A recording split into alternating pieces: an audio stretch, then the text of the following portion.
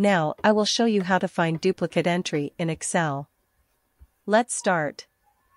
Select the cell first as required then first go on home page and select the conditional formatting. Then go to highlight cell rule. And then select the duplicate entry. Now check the highlighted cell it's mentioned in multiple time.